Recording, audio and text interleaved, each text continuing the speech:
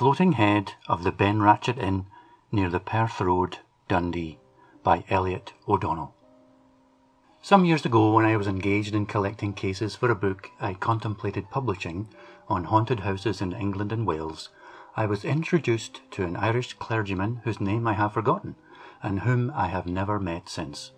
Had the incident he related taken place in England or Wales, I should have noted it down carefully, but as it occurred in Scotland, and I had no intention then of bringing out a volume on Scottish phantasms, I did not do so. My memory, however, I can assure my readers, in spite of the many ghost tales committed to it, for scarcely a day passes that I do not hear one, seldom fails and the Irish clergyman's story, which I am about to relate, comes back to me now with startling vividness. One summer evening, early in the 80s, Mr. Murphy, the name by which I will designate the originator of this story, and his wife arrived in Dundee. The town was utterly unknown to them, and they were touring Scotland for the first time.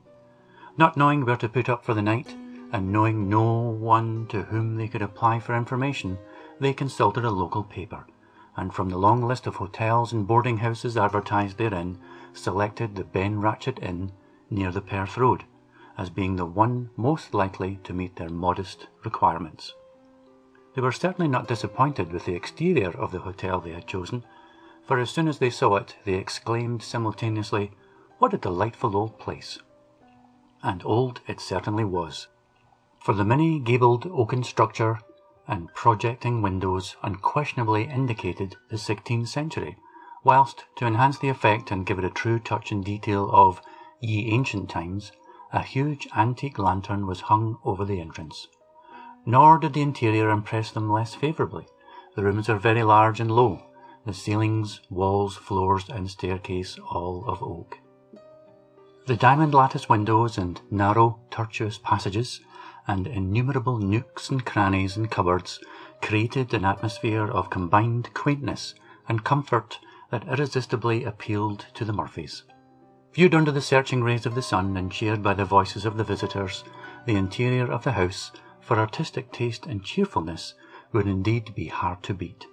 But, as Mrs. Murphy's eyes wandered up the stairs and down the corridors, she was filled with misgivings as to how the place would strike her at night.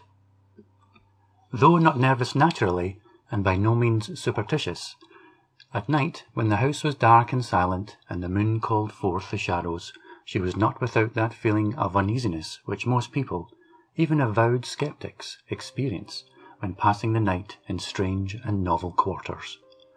The room they engaged, I cannot say selected, as the hotel being full they had Hobson's choice, was at the end of a very long passage at the back of the house, and overlooking the yard. It was a large apartment, and in one of its several recesses stood the bed, a gigantic ebony four-poster with spotlessly clean valance, and what was of even greater importance, well-aired sheets. The other furniture in the room, being of the same sort as that in the majority of old-fashioned hostels, needs no description, but a fixture in the shape of a cupboard, a deep, dark cupboard, let into the wall facing the bed, instantly attracted Mrs. Murphy's attention.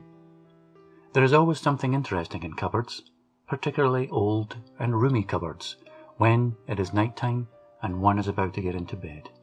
It is then that they suggest all manner of fascinating possibilities. It was to this cupboard then that Mrs. Murphy paid the greatest attention before commencing to undress prior to getting into bed. She poked about in it for some moments, and then, apparently satisfied that no one was hidden there, continued her investigation of the room. Mr. Murphy did not assist. He pleaded fatigue and sat on the corner of the bed, munching a gingerbread and reading the Dundee Advertiser till the operation was over.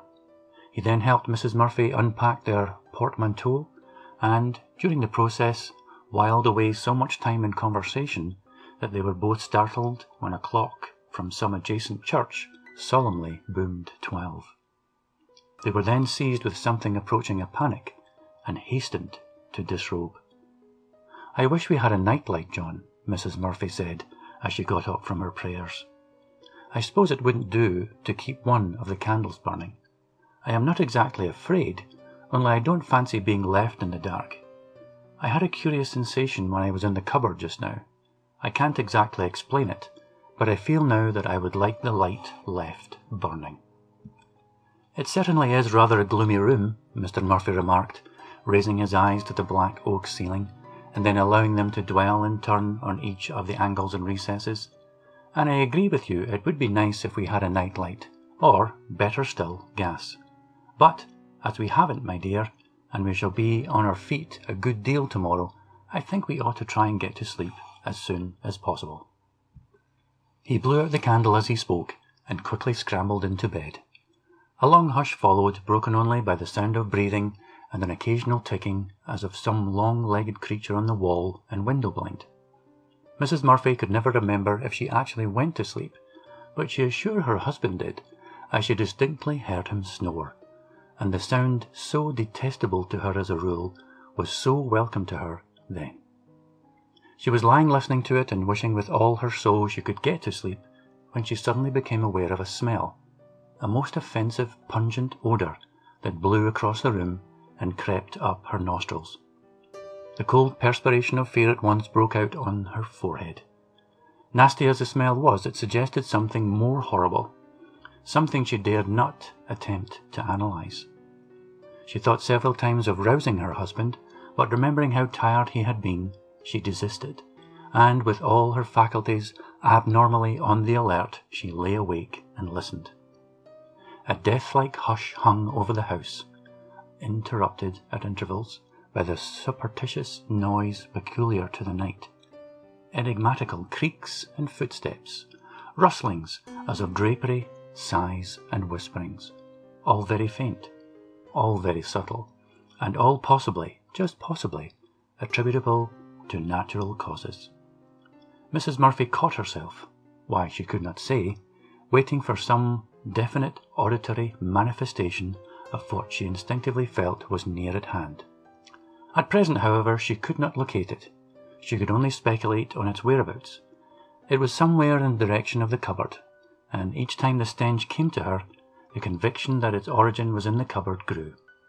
At last, unable to sustain the suspense any longer, and urged on by an irresistible fascination, she got softly out of bed, and creeping stealthily forward, found her way with surprisingly little difficulty, considering it was pitch dark and the room was unfamiliar to her, to the cupboard.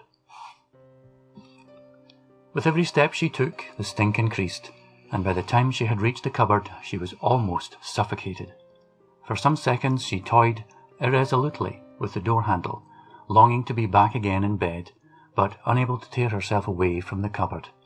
At last, yielding to the demands of some pitilessly exacting unknown influence, she held her breath and swung open the door. The moment she did so, the room filled with the faint, phosphorescent glow of decay, and she saw, exactly opposite her, a head, a human head, floating in mid-air. Petrified with terror, she lost every atom of strength, and entirely bereft of the power to move or articulate a sound, she stood stock still, staring at it. That it was the head of a man she could only guess from the matted crop of short red hair that fell in a disordered entanglement over the upper part of the forehead and ears. All else was lost in a loathsome, disgusting mass of detestable decomposition, too utterly vile and foul to describe. On the abnormal thing beginning to move forward, the spell that bound Mrs. Murphy to the floor was broken, and with a cry of horror she fled to the bed and awoke her husband. The head was by this time close to them, and had not Mrs. Murphy dragged her husband forcibly out of its way, it would have touched him. His terror was even greater than hers, but for the moment neither could speak. They stood clutching one another in an awful silence. Mrs. Murphy at length gasped out, Pray, John, pray command the thing in the name of God to depart. Mr. Murphy made a desperate effort to do so, but not a syllable would come. The head now veered round and was moving swiftly towards them, its awful stench causing them both to retch and vomit. Mr. Murphy, seizing his stick, lashed at it with all his might. The result was one they might well have expected. The stick met with no resistance, and the head continued to advance. Both Mr. and Mrs. Murphy then made a frantic attempt to find the door. the head still pursuing them and tripping over something in their wild haste, fell together on the floor. There was now no hope. The head had caught them up. It hovered immediately above them, and descending lower, lower, and lower, finally passed right through them, through the floor and out of sight. It was long ere either of them could sufficiently recover to stir from the floor, and when they did move, it was only to totter to their bed, and to lie with the bedclothes well over their heads, quivering and quaking till the morning. The hot morning sun dissipating their fears, they got up, and hurrying downstairs demanded an interview with their landlord. It was in vain. The latter argued it was all a nightmare. They showed the absurdity of such a theory by vehemently attesting they had both simultaneously experienced the phenomena. They were about to take their departure when the landlord, retracting all he had said, offered them another room and any terms they liked, if only they would stay and hold their tongues. I know every word of what you say is true, he said, in such submissive tones that the tender hearts of Mr. and Mrs. Murphy instantly relented, and they promised to remain. But what am I to do? I cannot shut up a house which I have taken on a twenty years' lease because one room in it is haunted, and after all, there is only one visitor in twenty who is disturbed by the apparition. What is the history of the head? Why, it is said to be that of a pedlar who was murdered here over a hundred years ago. The body was hidden behind the wainscoting, and his head under the cupboard floor. The miscreants were never caught. They are supposed to have gone down in a ship that sailed from this port just about that time, and was never heard of again. This is the gist of the story the clergyman told me, and believing it as I undoubtedly do to be true, there is every reason to suppose that the inn, to which I have of course given a fictitious name, is still in existence, is still haunted. End of The Floating Head of the Benrachett Inn near the Perth Road, Dundee by Elliott O'Donnell.